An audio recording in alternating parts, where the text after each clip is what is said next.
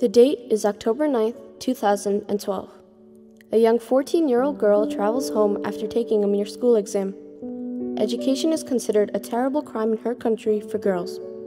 However, this does not stop her from pursuing her dreams. She is targeted by the Taliban, a ruthless terrorist group which is against the education of girls. They swarm her school bus, and just after midday, she is shot thrice. She is immediately rushed to a foreign hospital, and this propels Malala Yousafzai's long journey of fighting for equality and the right to have an education for girls in Pakistan. To pay attention to a very young and very courageous girl struggling for her life. A 14 year old who decided to take a stand and speak out in Pakistan on behalf of all the little girls there who dream of a future and just want to go to school. Malala Yousafzai was born on July 12, 1997, in Mingora in the Swat Valley of Pakistan. This area used to be a popular tourist destination due to its beautiful scenery, but lost its touch soon after the Taliban attempted to gain control of the land.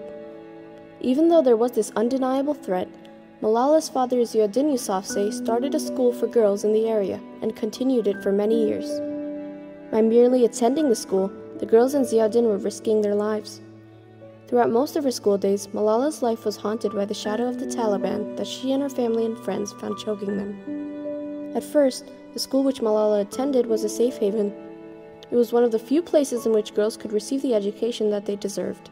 There were friendly competitions within grades, and the girls learned mathematics, geography, science, and public speaking. They were a close group, and though Malala had her occasional bickers with her best friend Muniba, she was happy we were having exam that week and uh, the paper on the 9th of october went very well it was of pakistan studies but the paper one day before was of physics i love physics but it was hard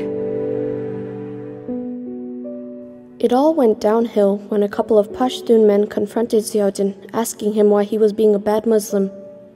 The men were clearly under the influence of illegal radio talks spreading words against girls' schools. The men said that girls should not be educated and that he should stop running the school. He compromised with them, but this would eventually start a long chain of dangerous events for Ziauddin and his family.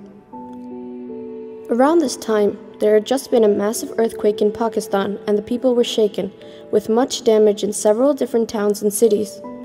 Though the government came to aid very slowly, there was quick help from a conservative religious group called Tehreek-e-Nafaz-e-Shariat-e-Muhammadi, or the Movement for the Enforcement of Islamic Law. It was led by Sufi Muhammad and his son in law, Maulana Fazlullah.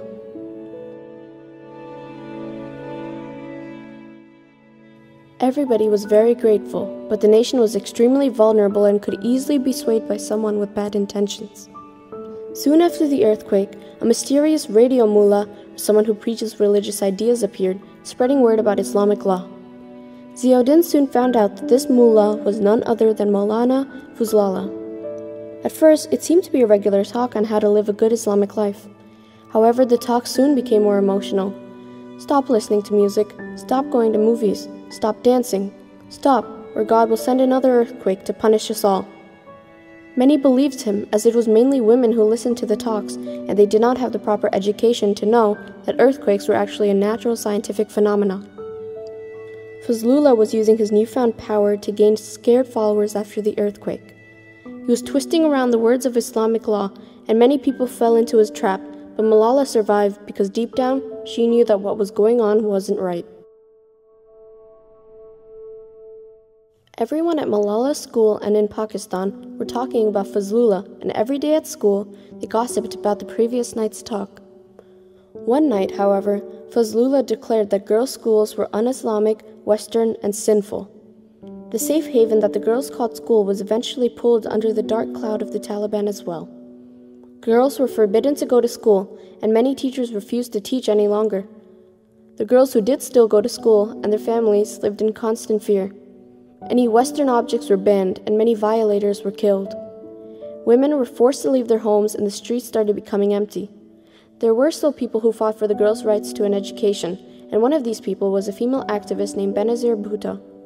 She was shot and killed during a rally in front of thousands of followers, and the nation was in shock. The Taliban had stooped so low that they even shot at women. These were very dark times for the people of Pakistan. Mostly, Malala's family feared for the life of Ziauddin.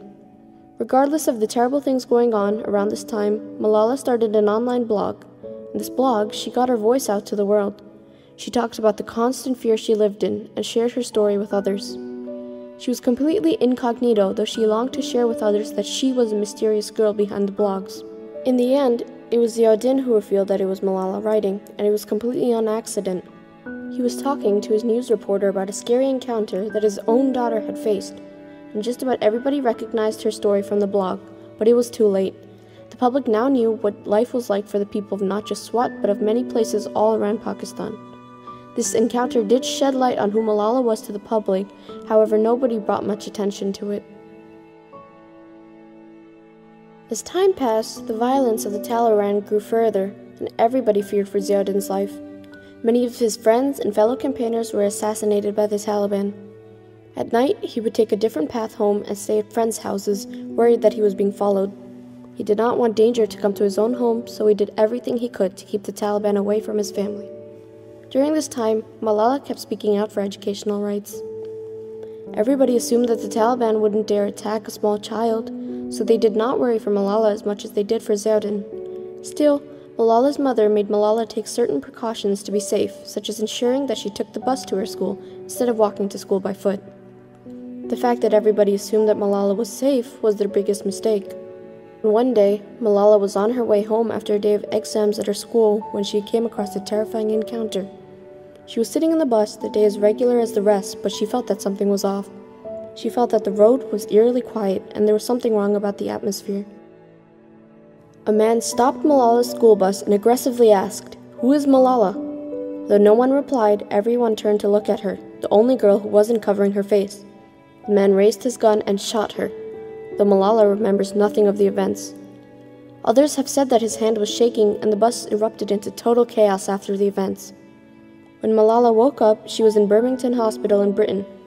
She had undergone surgery that ultimately saved her life, though now her face looked distorted.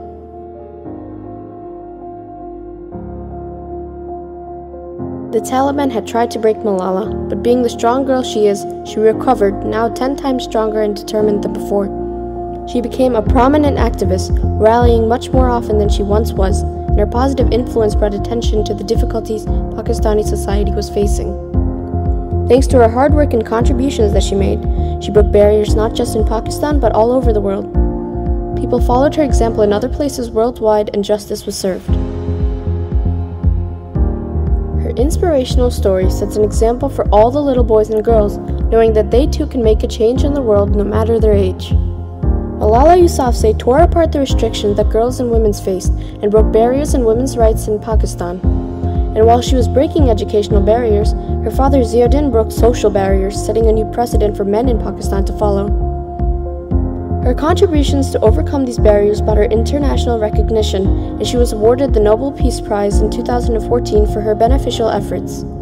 Over time, her influence spread, and together, activists from all around the world, regardless of their background, united together in one movement a movement to break barriers and establish equal rights for females all around the world.